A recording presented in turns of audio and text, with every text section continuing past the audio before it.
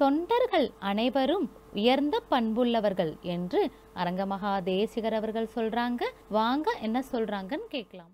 அதிசயம் நீடி ஆயுள் நோயில்லா வாழ்வு வறுமையில்லா வாழ்வு பெற்று வாழ வேண்டுமென்றால் புண்ணியமும் அருளையும் பெற்று நீடு வாழ வேண்டும் என்று சொல்லி நான் இது நேரம் பேசிய கருத்துக்களில் சில குறை இருக்கத்தான் செய்யும். போதிய கல்வி இல்லாதவன் அனுபவம் இல்லாதவன்.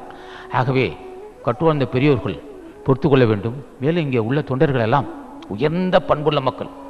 நான் வீட்டில் தான் இங்கே தான் இருக்கிறோம் காலையில் இந்த கிட்டத்தட்ட பதினஞ்சு இருபது பேர் கிராமத்தோறும் பல பிரச்சனைகள் இருக்கும். சமயத்தில் மழை பெய்யும் வெயில் அடிக்கும். அந்த மாதிரி தினம் கிராம கிராமம் கொண்டு மூணு லாரி வச்சு கிராம கிராம போய் சாப்பாடு போட்டிருக்காங்க. அவங்கெல்லாம் சிறந்த புண்ணியவான்கள். அவள் திருவடியை வணங்கி நான் ஆசி பெற விரும்புகிறேன். யார் வணங்குறானா? இங்கேருந்து அன்னதான் சமைக்கப்பட்ட அன்னதான். சமையல் ஏதாவது ரெண்டு மணிக்கு எந்திரிச்சு சாப்பாடு ஆக்குவாங்க.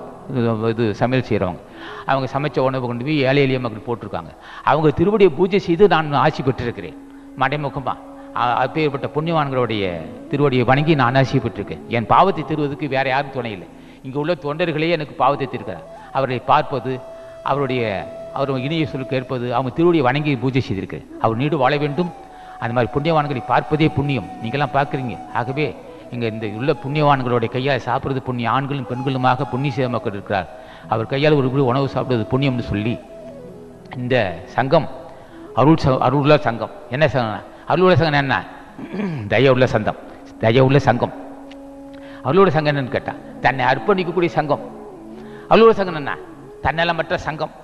அருளோட சங்கம் தன்னலமற்ற சங்கம். அர்ப்பணிக்கக்கூடிய சங்கம். ஜாதி மாதிரி இல்லாத ஜாதி வெறி இல்லாத சங்கம். ஜாதி மத வெறியே இல்லாத சங்கம். இது அருள் சங்கம். ஆகவே அருள் மக்களுக்கு ஜாதி இருக்க முடியாது. இந்த ஜா இந்த சங்கம் அருளுள்ள சங்கம். இங்கே வந்துட்டு போகிறதே புண்ணியம். இங்கே வந்து தினமும் இந்த வாரந்தோறும் வந்து இந்த பாராயணத்தை கேட்பது புண்ணியம்.